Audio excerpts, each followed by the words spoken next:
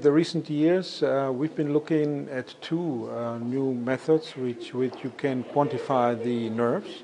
Uh, one is uh, the skin biopsy, which is a minimally invasive technique, uh, and you can count and measure under the microscope uh, the, the number of peripheral nerves, of, of sensory nerves in skin.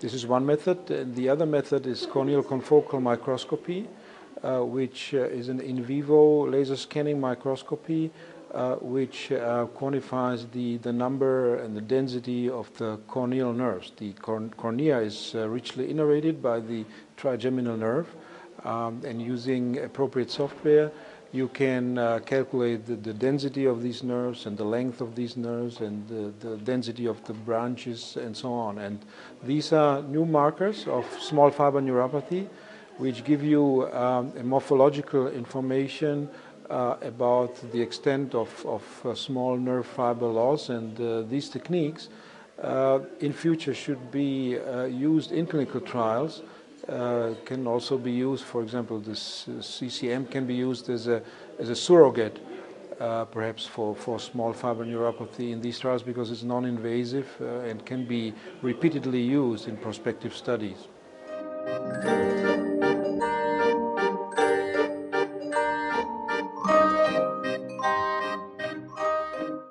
These are relatively infrequently used methods because uh, they, especially the skin biopsy method, uh, is not easy to perform. So you need, need skill, uh, skilled uh, laboratory personnel. Um, um, there are only few centers using this technique, but it can also be used, you know, for differential diagnostic uh, purposes.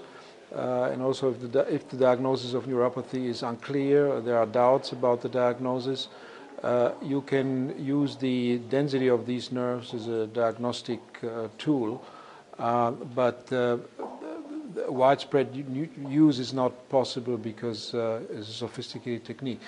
Uh, the same is true for the corneal confocal microscopy. The microscope is, is, is, not cheap and is being used only in specialized centers. But I would hope that maybe the manufacturer would be able to develop a handheld technology uh, which could be you know, easy to use by the practitioner as well.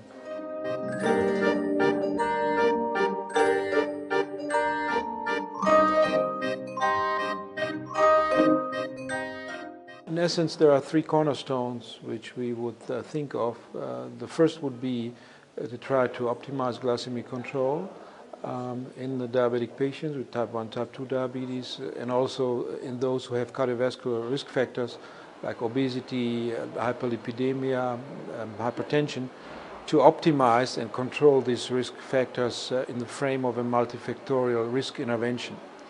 The second cornerstone in uh, painful neuropathy specifically is treatment uh, with analgesic drugs to reduce the pain but this is a purely symptomatic treatment and it does not interfere with the natural history of the neuropathy. It doesn't improve the neuropathy, it uh, only reduces the symptoms and we have to be aware of the side effects of these uh, drugs which uh, are usually centrally active drug like uh, uh, antidepressants or anticonvulsants. Uh, and the third cornerstone is treatment based on the pathogenetic considerations, on how um, neuropathy develops, in the experimental models. And these should be drugs which are able to interfere with the natural history. Uh, these should be disease modifying treatments uh, which ultimately would uh, um, reduce the progression of neuropathy or even improve it.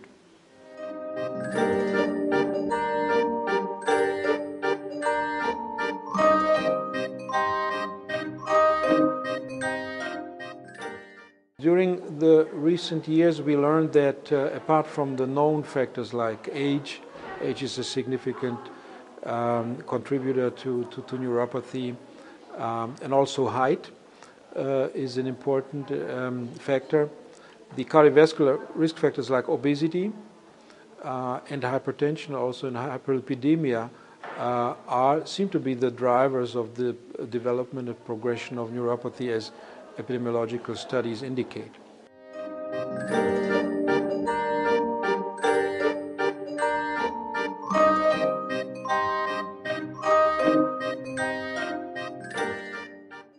There is evidence that uh, optimum glycemic control in type 1 diabetes uh, would uh, uh reduce the development and also slow down the progression. Uh, in type 2 diabetes, the evidence is um, not as, as strong. In, in, type 2 diabetes, we really don't know whether um, intensive diabetes therapy has uh, any major beneficial effect on, um, on the neuropathy. We believe that um, we need some drug treatment to try to, to slow down the progression. Um, and um, this has been shown primarily for alpha lipoic acid, which is an antioxidant, in the frame of a long-term four-year study, which uh, uh, is the, the Nathan 1 study, which has been published uh, a couple of years ago. Uh, and that trial showed that if you use um, alpha lipoic acid, 600 milligrams per day as a tablet, once daily, uh, this uh, leads to um, a clinically relevant improvement um, of neuropathic impairments and deficits as compared with placebo treatment.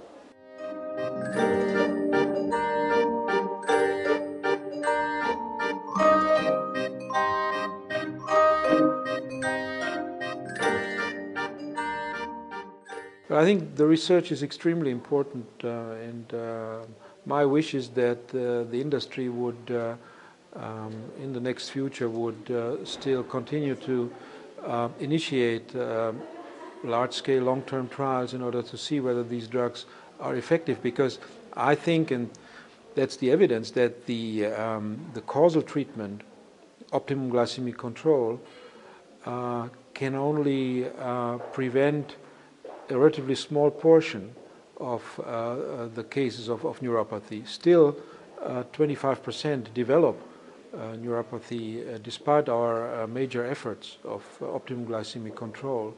So therefore, I think um, treatments which would be effective despite um, the persistent, more or less pronounced hyperglycemia uh, these treatments are extremely important and, and should be further developed and, and, validated in appropriate clinical trials.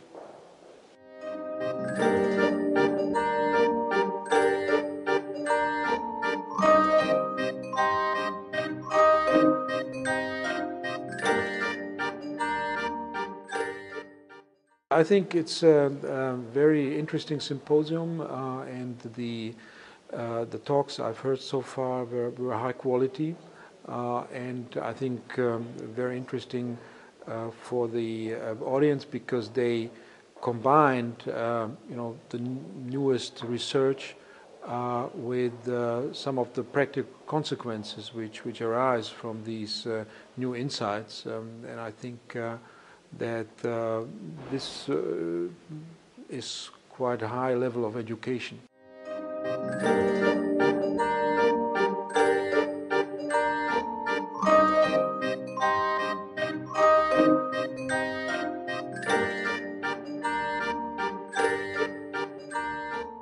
I think uh, the society is doing a great job uh, by really um, increasing the awareness that uh, diabetic neuropathy is a serious um, uh, complication of diabetes which has been underestimated uh, by both the uh, physician and also the, the patients. We, we have data to, to show this, that many patients do not know that they have neuropathy. Uh, and the society has been very important in, in, in um, raising the awareness um, and also um, helping to improve the education uh, on neuropathy uh, with the, to the physicians. So, so I would like to wish to congratulate uh, the society for, for their efforts and, and uh, uh, would think that they should continue with their, with their important work.